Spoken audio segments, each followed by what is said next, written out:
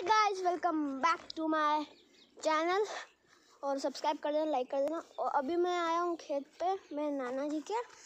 तो मेरा कुछ था नहीं ब्लॉग बनाने का। मैंने सोचा सिंपली गाइस को भी बता दीजिए क्या क्या है। तो सबसे पहले अपन जाते हैं, जहाँ से सबको पानी मिलता है ट्यूबवेल के पास। ये रही हमारी ट्यूबवेल और मैं बताता हूँ आपको।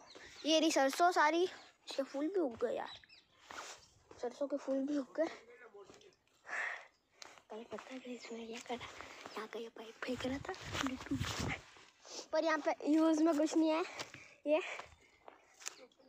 या ओ भाई साहब भाई साहब वो फ्लोटिंग बहुत है। तभी मैं शूज़ पहन के आया हूँ बाकी मैं चप्पल में पहन के आता ये क्या है वैसे? पापा ये क्या है? ये, ये क्या? ये क्या है? ये ये।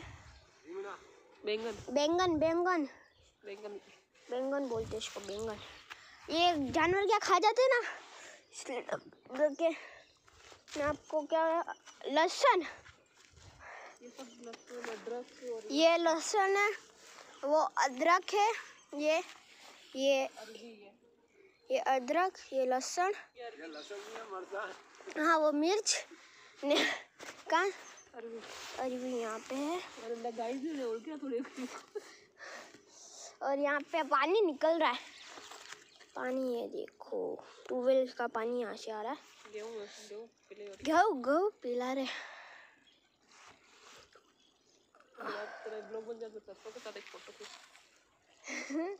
गाइस मैं आपको एक बात बताता हूँ कि यहाँ पे पता है रात को कोई भी मतलब आधी रात को कोई रुक नहीं सकता। शेर खा के ले जाता। गाइस यहाँ का व्यू बहुत प्यारा है मतलब फोटोग्राफी के लिए तो मैं आपको बढ़िया ही बोलूँगा। मुझे सर्दी हो गई यहाँ पे आने के बाद। तो गाइस मैं आपको अगले ब्लॉग में मिलता हूँ। जब तक लिए बाय और ये, इसी बात पे लाइक भी कर देना। चैनल पे नो सब्सक्राइब कर देना।